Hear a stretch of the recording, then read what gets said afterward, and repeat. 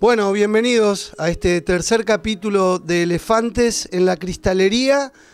Hoy con dos grandes elefantes rosados eh, invitados a, este encuentro, a esta peña que tenemos y, que son Sebastián Pachud presentando sus fotografías, su muestra llamada Noctámbulo y Matungo Deicas, Cristian Matungo Deicas, con su guitarra slide y, un homenaje a, la película mm, París, Texas de Wim Wenders, que cumple 40 años y tanto la película como la música de Ray Cooder son una expresión eh, humana que nos, eh, nos hace bien como, como estos encuentros. La vida es eh, encontrarse con amigos y, confraternizar y las fotos del Pepi Pachud, que son fotos eh, nocturnas, obviamente, por eso se llama noctámbulo, tienen esa espontaneidad. Una técnica extraordinaria la de este fotógrafo que tenemos, Sebastián Pachau. Sebastián Pachud es un, un, ¿cómo decirlo? Un antropólogo de la sociedad, de la imagen. Eh, yo quería contar una historia para sintetizar lo que es este esta muestra que tuve el orgullo de montarla. No fui el curador, eh, y en este caso su propio autor fue el que eligió las obras. Yo lo único que hice ubicarla conforme a, las situaciones de color y las situaciones de escenografía. Y me gustaría hablar un poco de una gran fotógrafa que se llama Dora Maar. Fue una de las mujeres de, una de las amantes de Picasso. Estuvo presente cuando Picasso hizo el Guernica. Dora Maar tenía un gran amigo que era Cartier-Bresson. Aprendió mucho de Cartier-Bresson. Pero una de las cosas muy importantes es que también era amigo de, Man Ray, otro gran fotógrafo, Man Ray. Y en una exposición de Dora Maar, Man Ray se le acercó y le dijo, Dora, hay que desenfocar. No fuera de foco, desenfocar. Pero bueno, lo más importante es que a partir de ahí nace para todos descubrir lo que es el, esa técnica, porque en realidad no es un movimiento como el dadaísmo, el surrealismo, es una técnica. Man Ray sacaba fotos sin cámara, ponía el papel que se utiliza para la fotografía, incorporaba elementos de hierro generalmente, le tiraba una luz y eso era la foto. O sea, era un experimentador. Por eso, eh, al experimentar con la foto, nace eh, el efecto fuera de foco. Y volviendo a la exposición de, Sebastián, él utiliza utiliza muchísimo ese efecto de desenfoque.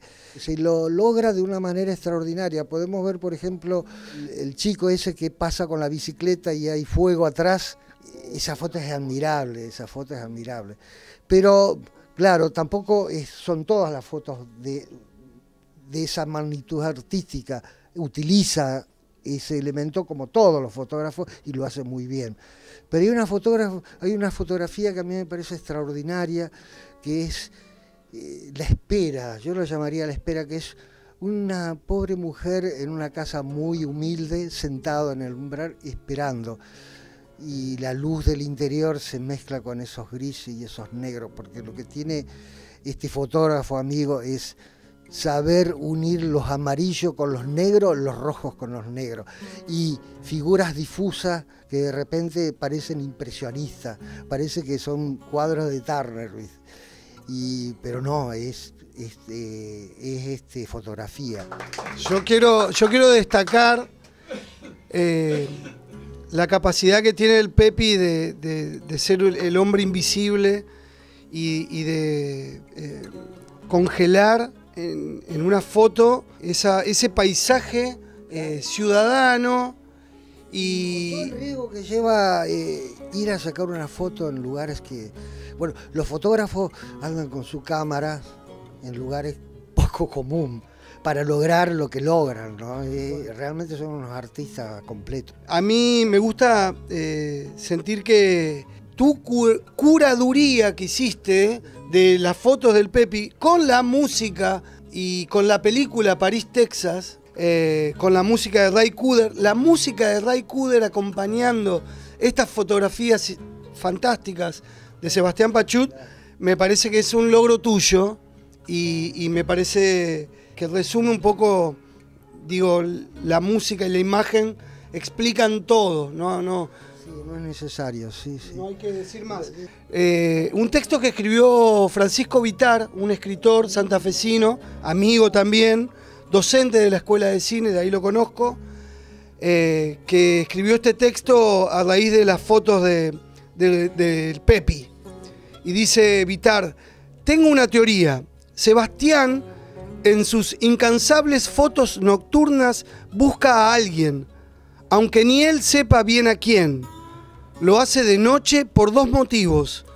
Porque de día podrían descubrirlo. Se trata del tan famoso como perverso pudor del fotógrafo, que se oculta él mismo para que el mundo no lo haga. Y porque de noche, además de confundirse con las tinieblas, queda a salvo de encontrar lo que busca, por lo reducido de la visibilidad. No parece que el perseguido se esconda. Si fuera así, no pasaría por debajo de la luz que espera tendida como una trampa y al contacto de la cual se termina de componer la escena.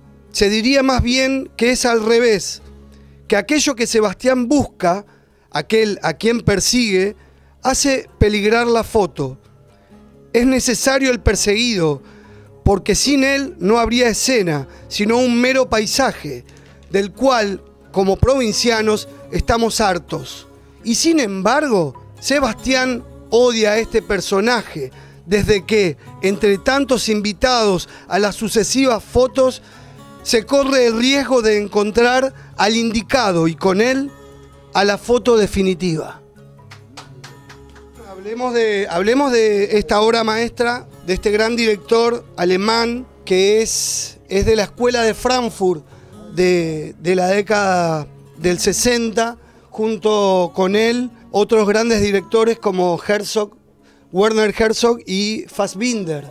Pero la particularidad de, de Wim Wenders y de esta película que cumple 40 años son esas cosas milagrosas que suceden en el arte cuando en un, en un arte colectivo como es el cine está todo bien, el casting, la música, el guion, la dirección, la fotografía, todo funciona perfecto. La película se filmó en 1984. Eh, uno dice París, Texas y piensa en una road movie que va de, Francia a Estados Unidos y no. Eh, es una película que es muy intimista, es, es una película de, de relaciones entre familiares, padres, hijos, madres y, una historia que... De encuentro y desencuentro, ¿no? de, amor. Natasha Kinky estaba en su esplendor. El guion es de Sam Shepard, que es un, un, gran, gran actor, muy conocido como actor, no tan conocido como dramaturgo, un tipo, un escritor que se dedicó a actuar, se hizo más conocido como actor que como guionista.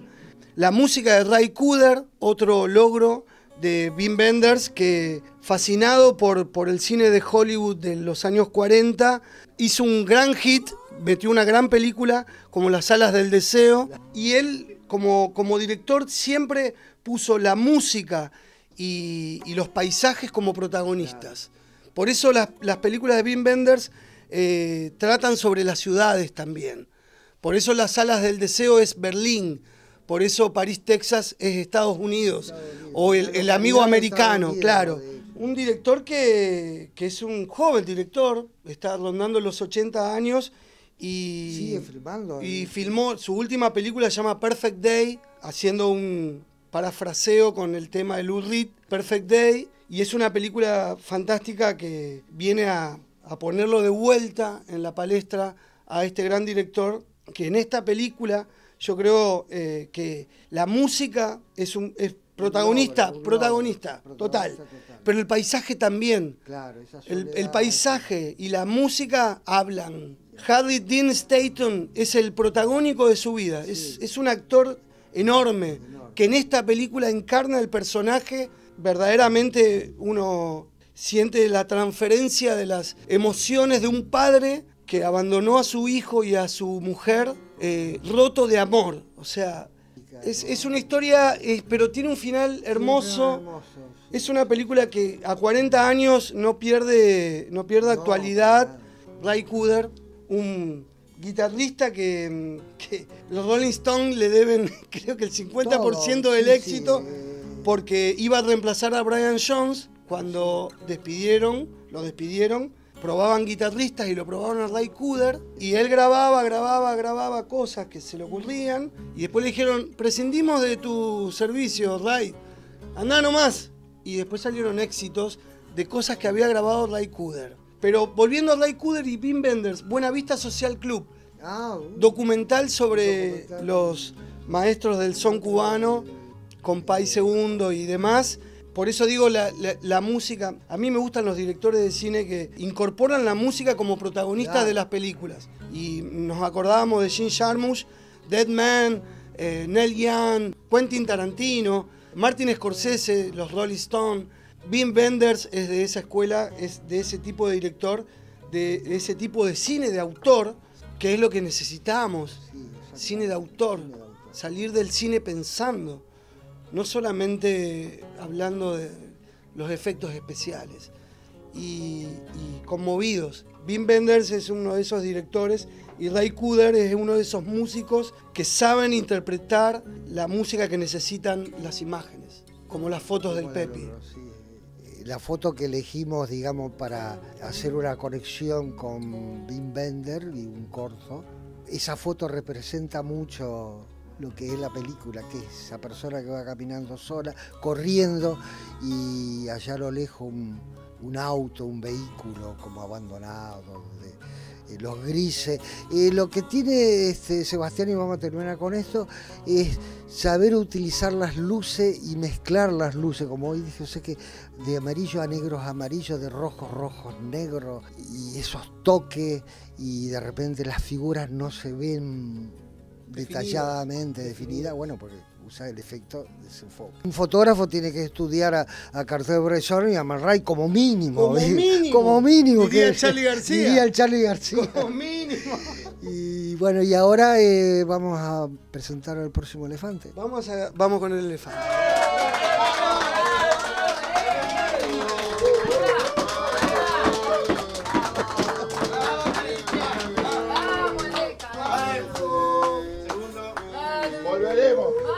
Cristian Matungo, Cristian Matungo Deicas, no me acostumbro a decirte Cristian, bienvenido y felicidades. Igualmente, muchas gracias por el convite. Bueno, em, estamos homenajeando a Ray Cooder, algo que decir de este maestro de la guitarra. Que eh, podemos decir que no se haya dicho ya en este programa.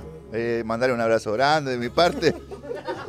Dicen eh, los libros que el riff de Honky Tonk Woman de los Rolling Stones se lo robaron a Ray Cooder. Me parece genial, me parece genial que se joda por pelotudo Ray Cooder, claro.